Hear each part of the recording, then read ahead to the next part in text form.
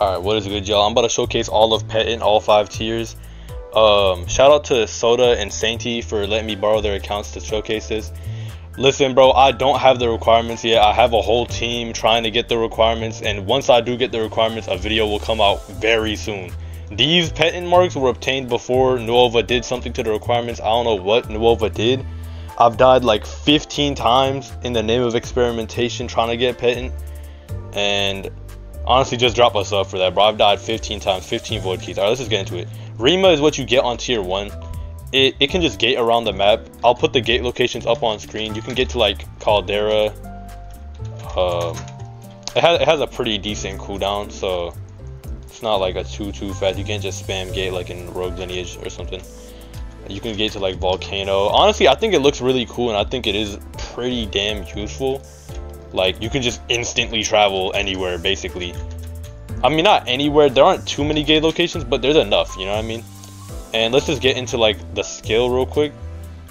Alright, so the tier 3 skill you get when you have um, Pet Mark is called Consira. It costs 3 energy and has a 10 turn cooldown. It dual scales arcane and physical. The description is open a rift on an enemy, sucking out all status effects currently applied to them, then exploding, dealing damage based on how many status effects were absorbed it says it's a base damage of 5, but I think it might scale very high because um, I've seen it do a lot of damage even when not absorbing status effects. And um, uh, Nuova Prime just um, buffed it so that it um, it does extra damage when it absorbs Hex as well. When it absorbs a bunch of status effects, it can do like some serious damage. I've, I've seen it do like upwards of 1k. Here's the animation. It's also not dodgeable by enemies. There's no way to dodge it or anything. You see, I only have 50, I have like 110 strength, and he blocked that and took 30 damage, so it would have done like 60 to him. Um, overall, it's really good against bosses. It's, it's a really good skill in general. And the last thing that uh, Petent gets at tier 5, it's a passive called Domineering or something like that. I'll put it up on screen.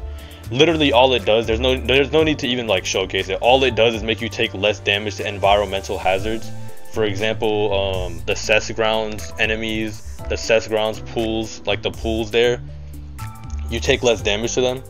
And honestly, that's about it. That's all the mark really gets. When these requirements come out, I promise y'all I will make a video. Like, I really do. I don't have them yet. Uh, and I'll see you on the next one.